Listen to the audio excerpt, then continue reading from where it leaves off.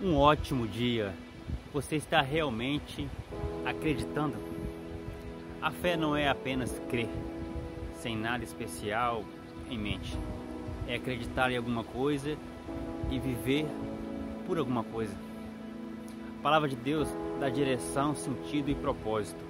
Sem a Bíblia, a fé é como uma flecha lançada ao ar que cai na terra sem, sem lugar nenhum, sem destino certo.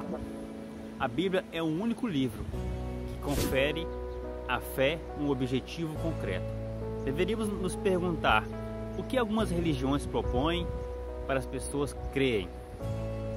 Sem direção, elas se tornam como uma esteira mecânica religiosa, querendo pelo simples fato de crer. Apóstolo Paulo, mesmo estando a bordo de um navio, naufragando, declarou: eu confio em Deus. Atos 27, versículo 25. Não havia incerteza, era um sentimento específico e não aparecendo havia já alguns dias, nem sol, nem estrelas, caindo sobre, sobre eles ali uma grande tempestade, dissipou-se afinal toda a esperança de um salvamento.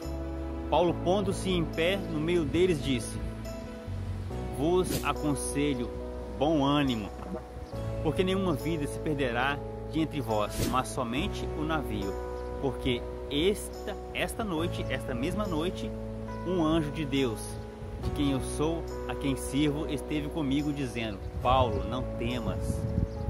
Eis que Deus, por sua graça, te deu todos quantos navegam contigo.